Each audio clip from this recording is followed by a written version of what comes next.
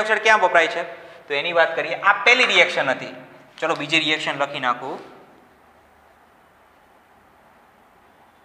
જે દરિયાનું પાણી છે, તો દરિયાના પાણીમાં ઓગળેલો કાર્બન ડાયોક્સાઇડ. દરિયાના પાણીમાં ઓગળેલો કાર્બન ડાયોક્સાઇડ, કે જેને કહેવાય કાર્બોનેટ. દરિયાના પાણીમાં ઓગળેલ કાર્બોનેટ. દરિયાઈ જે જીવો છે, દરિયાઈ જીવો કવચ બનાવવામાં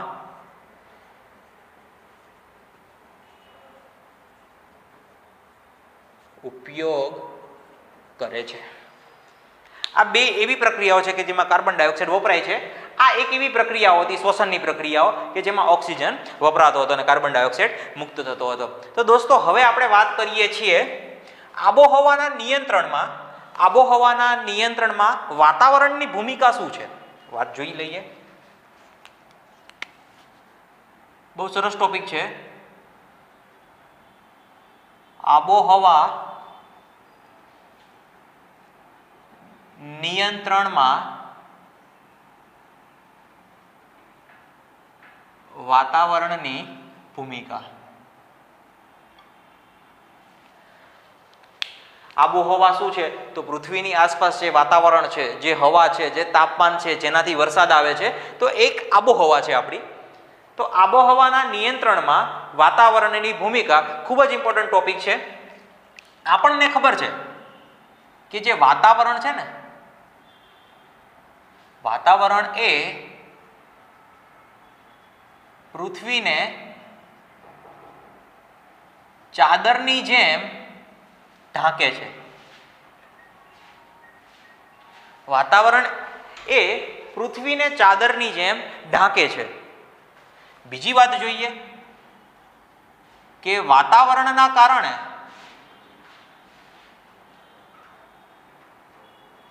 સમગ્ર વર્ષ દરમિયાન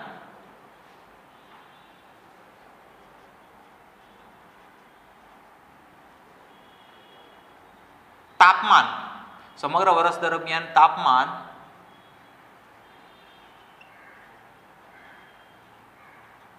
જળવાઈ રહે છે. વાતાવરણ છે એટલે જ સમગ્ર વર્ષ દરમિયાન તાપમાન જળવાઈ રહે છે. બીજી વાત કરીએ કે વાતાવરણના કારણે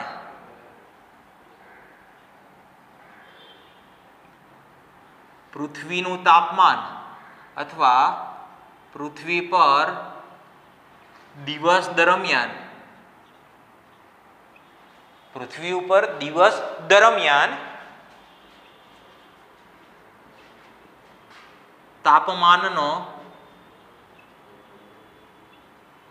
અચાનક વધારો થતો નથી.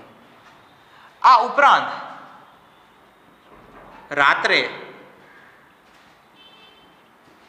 વાતાવરણમાં ઉષ્માનું અવકાશ તરફ વહન.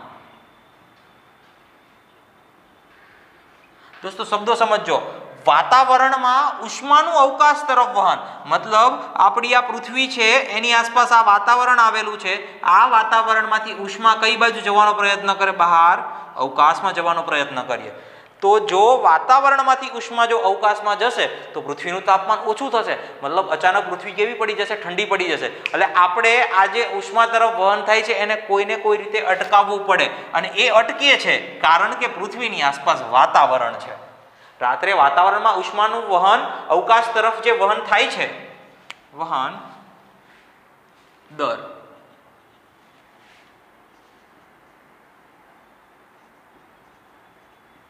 વાતાવરણના કારણે ઓછો હોય છે.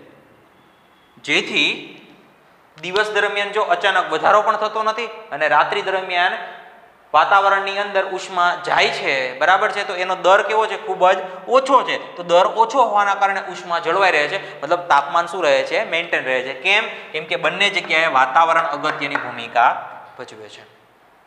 બીજી વાત કરીએ તો આ બધામાં જે હવા છે, વાતાવરણની અંદર જે હવા રહેલી છે, એ હવા ઉષ્માની મંદ વાહક છે. શું ખરેખર આ વાતાવરણ છે, એ પૃથ્વીની આબોહવા છે, એમાં નિયંત્રણમાં અગત્યની ભૂમિકા ભજવતો હોય? તો જોઈ લઈએ એક ઉદાહરણ. તો દાખલા તરીકે આ છે આપણો સૂર્ય. તો સૂર્યથી જેટલા અંતરે પૃથ્વી આવેલી છે ને એટલા જ અંતરે ચંદ્ર પણ આવેલો છે. મતલબ આપણે વાત કરીએ કે સૂર્ય અને પૃથ્વી વચ્ચેનું અંતર અને સૂર્ય અને ચંદ્ર વચ્ચેનું અંતર એ ઓલમોસ્ટ સરખું છે એમ.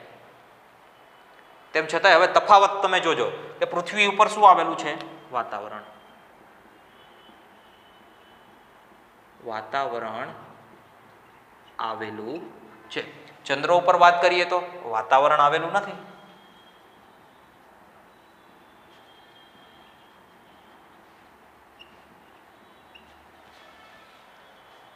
પૃથ્વી ઉપર વાતાવરણ આવેલું છે, દિવસનું તાપમાન આપણે કેવું હોય છે? તો આપણે વિચારીએ કે ભાઈ ચલો, દિવસે બત્રીસ ડિગ્રી સેલ્સિયસ જેટલું તાપમાન હતું. હવે એ જ દિવસે તમે જો રાત્રે તાપમાન માપશો, તો રાત્રે કંઈક તમને મળશે સત્યાવીસ ડિગ્રી સેલ્સિયસ જેટલું તાપમાન અરાઉન્ડ અંદાજે સત્યાવીસ ડિગ્રી સેલ્સિયસ જેટલું તાપમાન તમને મળે. પરંતુ જો આ જ વાતને તમે ચંદ્ર ઉપર એપ્લાય કરો તો? તો ચંદ્ર ઉપર દિવસનું તાપમાન તમને મેક્સિમમ કેટલું મળી શકે? ખબર છે દોસ્તો? એકસો ને દસ ડિગ્રી સેલ્સિયસ. મેક્સિમમ કહું છું. એકસો દસ ડિગ્રી સેલ્સિયસ તાપમાન હોય. અને જો રાત્રિ દરમિયાન તમે તાપમાન માપો તો તમને મળી શકે સોરી દિવસ દરમિયાન તમે જો તાપમાન માપશો તો તમને મેક્સિમમ એકસો ને નેવું ડિગ્રી સેલ્સિયસ જેટલું નહીં, પણ એકસો ને દસ ડિગ્રી જ મળશે. સોરી અહીંયા મારી મિસ્ટેક થાય છે. દિવસ દરમિયાન તમે તાપમાન માપશો તો એકસો દસ ડિગ્રી સેલ્સિયસ અને રાત્રે તમે જો માપશો તો તમને મળશે એકસો નાઇન્ટી ડિગ્રી સેલ્સિયસ પણ કેવું હશે? માઇનસમાં હશે. એટલે રાત્રે ચંદ્ર ઉપર ખૂબ જ ઠંડી હોય અને દિવસે એટલી બધી ગરમી હોય કે તમે સર્વાઈવ ન કરી શકો, તમે જીવી ન શકો. દોસ્તો, યાદ રાખો, અહીંયા મારી સેજ મિસ્ટેક થઈ.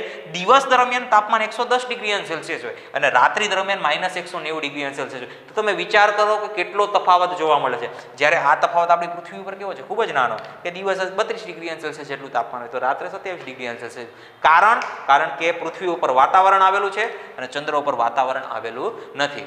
અને પૃથ્વી ઉપર વાતાવરણ આવેલું છે એટલે દિવસે આપણને વધારે ગરમી નથી થતી અને રાત્રે આપણને વધારે ઠંડી નથી લાગતી.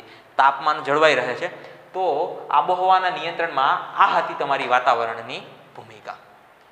હજી આપણે વાત કરીએ એક પ્રવૃત્તિની, ચૌદ પોઈન્ટ એક.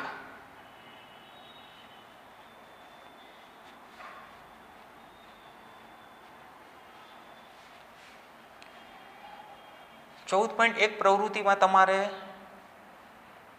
ત્રણ સિસ્ટમ લેવાની છે. ચલો, ત્રણ સિસ્ટમ લે. દાખલા તરીકે એક હું બીકર લઉં છું, એની અંદર હું રેતી ભરી દઉં છું.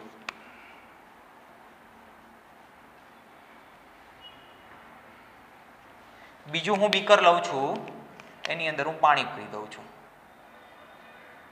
બીકર મોટું બની ગયું ઓકે આ બીકર છે, એની અંદર હું પાણી ભરી દઉં છું.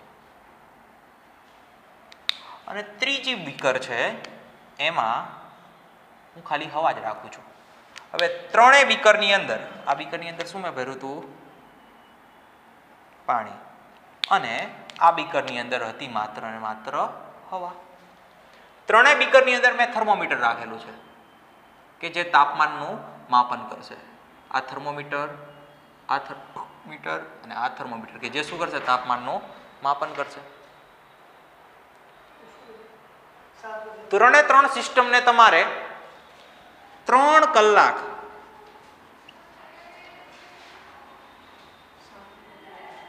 સૂર્યપ્રકાશમાં રાખી તાપમાન માપવાનું. ત્રણ કલાક સૂર્યપ્રકાશમાં રાખી તાપમાન માપતા.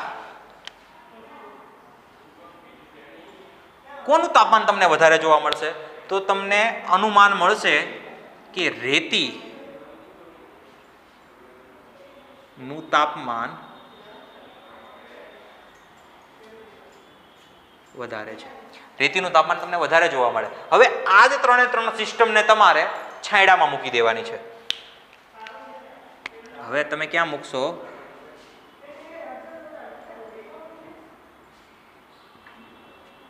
છાંયડામાં મૂકતા. અને છાંયડામાં મૂકી અને પછી હવે એનું તમારે શું માપવાનું છે? તાપમાન માપવું છે. તો તમે તાપમાન માપશો તો તમને અનુમાન મળશે કે પાણીનું તાપમાન ઊંચું છે.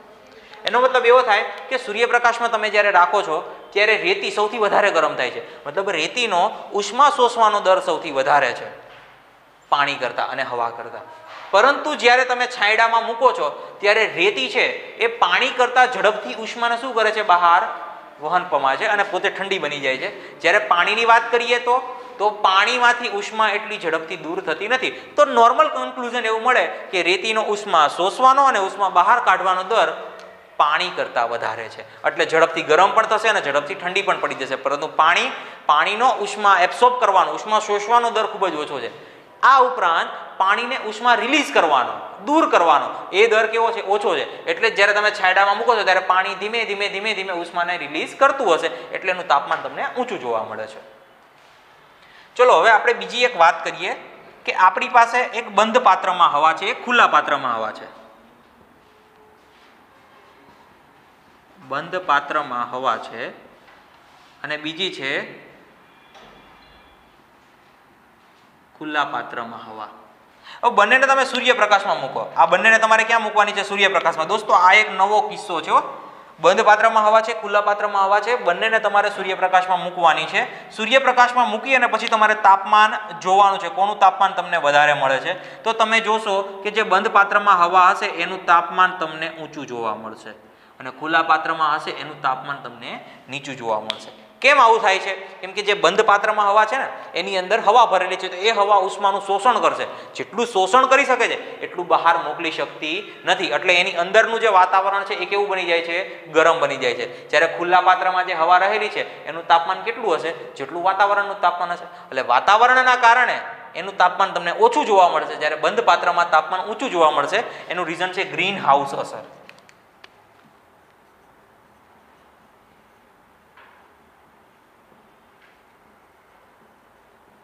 ગ્રીન હાઉસ ધારો કે આ હવા ખુલ્લા પાત્રમાં હતી, હવે આ જ હવા જો બંધ પાત્રમાં હોય, તો એ ઉષ્માનું શોષણ કરશે બધી બાજુથી. પરંતુ એને બહાર નહીં મોકલી શકે.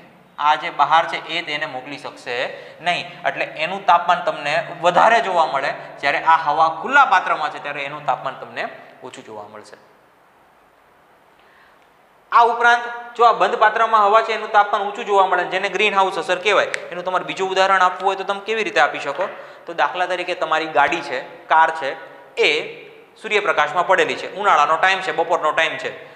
તમે કારનો દરવાજો ખોલીને અંદર બેસશો, તો તમને બહાર કરતાં અંદર વધારે ગરમી લાગશે. એનું રીઝન શું છે? ગ્રીન હાઉસ અસર. કેમ કે કારની અંદરના જે હવાના પાર્ટિકલો છે, એને શું કરેલી છે? ઉષ્માનું શોષણ કરેલું છે. અને એ બહાર વાતાવરણના જે પાર્ટિકલ છે, એની કમ્પેરિઝનમાં એ બહાર ઉત્સર્જન કરી શકતા નથી. એટલે મોટર કારની અંદર ગ્રીનહાઉસ અસરના કારણે તાપમાન વધારે જોવા મળે છે. તો દોસ્તો, અહીંયા જ આપણે લેક્ચર નંબર ફર્સ્ટ સમાપ્ત કરીએ છીએ. મળીશું લેક્ચર નંબર બેની અંદર.